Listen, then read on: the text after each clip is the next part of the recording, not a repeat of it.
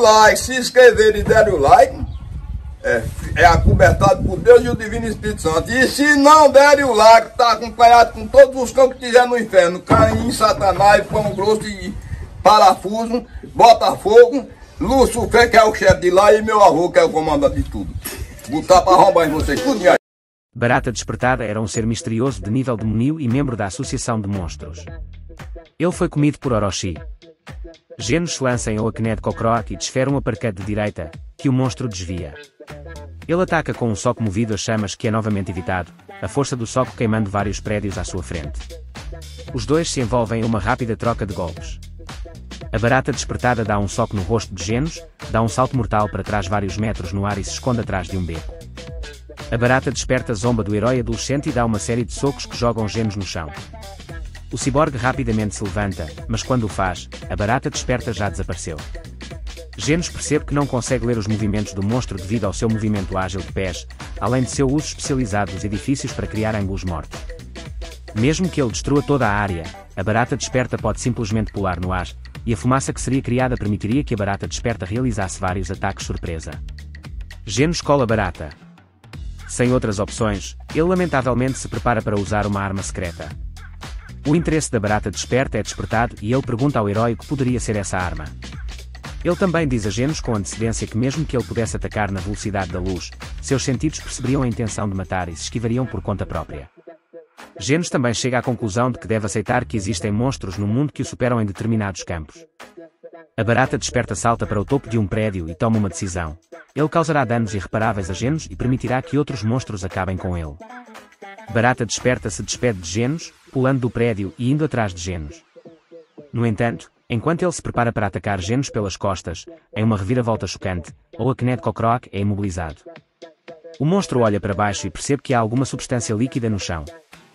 Genos informa ao Akned Kokroa que este é um adesivo instantâneo extra forte projetado para lidar com oponentes velozes como Speed Sound Sonic. Ele também expressa frustração por ter sido forçado a usar isso, pois significa admitir que sua própria velocidade não foi suficiente para lidar com a barata desperta. O monstro pergunta a Genos do que ele está falando, e Genos responde que não é da conta dele. Genos prepara uma explosão de incineração, envolvendo a rua em fumaça e chamas. Quando a fumaça se dissipa, Genos percebe que a barata desperta sacrificou a parte inferior das pernas para escapar, mas sabe que sofreu danos significativos e não adianta persegui-lo. Terminada a batalha, ele se prepara para voltar ao estádio para assistir à partida de Saitama. Enquanto Genos está voltando, ele percebe movimentos em alta velocidade se aproximando dele. Ele se pergunta se é a barata desperta, mas percebe que é algo completamente diferente. Na verdade, o monstro é Goku, um executivo da Monster Association que está a caminho do C-City Super Stadium e derrota Genos com um único golpe. Quando os monstros retornam para a Associação de Monstros, Barata Desperta é convocado por sua derrota contra Genos por Gioro Gioro e Orochi. Orochi empala o monstro com seus chifres em velocidades às quais a barata desperta não é capaz de reagir naturalmente, apesar de afirmar que seu corpo poderia reagir a ataques na velocidade da luz. Ele pateticamente pede ajuda enquanto é consumido pelo Rei Monstro e os outros monstros assistem sua morte. A barata desperta estava muito confiante em suas habilidades, principalmente em sua velocidade. Ele preferia mirar em heróis em contraste com outros monstros. A barata desperta não parecia matar heróis, mas sim focada em incapacitá-los e depois deixar outros monstros acabarem com eles. Ele ocasionalmente se divertia durante a batalha. Como um ser misterioso de nível demoníaco da Associação de Monstros, a barata desperta era um ser bastante poderoso, capaz de derrotar três heróis de classe baixa com aparente facilidade. Ele também deu a Genos, um herói da classe S, alguns problemas na luta devido à sua imensa velocidade. No entanto, ele era totalmente impotente contra Orochi, e foi facilmente dominado e consumido pelo Rei Monstro. Barata Desperta possuía uma quantidade incrível de velocidade e reflexos nítidos. Ele foi capaz de ultrapassar Genos, um poderoso herói da classe S, mesmo após suas atualizações do G4, mostrou deixar várias imagens residuais de si mesmo enquanto se movia. Como um ser misterioso de nível demoníaco, a Barata Desperta era muito poderosa. Ele era forte o suficiente para danificar bastante a armadura de Genos durante a batalha. Embora raramente receba um ataque direto devido à sua tremenda velocidade, Barata Desperta provou ser bastante resistente, pois mostrou pouca reação ao ato de sacrificar ambos os pés para escapar da substância adesiva de genes e fugir da luta. Mesmo enquanto sangrava pelos cotos. Além disso, apesar de ter sido gravemente ferido e empalado no abdômen pelo chifre de Orochi durante a reunião da Associação de Monstros, a Barata Desperta conseguiu permanecer consciente e fez uma tentativa de implorar por misericórdia e ajuda. Fiel ao seu título, Barata Desperta possuía algumas das características naturais de uma barata. Isso incluía ter seis braços separados, dando-lhe uma vantagem natural no combate corpo a corpo e a capacidade de sobreviver sem partes importantes do corpo.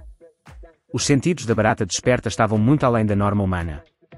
Segundo ele, mesmo que seu oponente pudesse atacar na velocidade da luz, ainda assim não teria conseguido acertá-lo porque seu corpo havia desenvolvido um sexto sentido, ser capaz de sentir a intenção de matar e evitar ataques por conta própria com antecedência. Barata Desperta mostrou estar no mesmo nível dos heróis da classe S quando se tratava de combate corpo a corpo. Ele tentou ser imprevisível em seus movimentos, movendo-se de forma irregular durante sua luta com genos.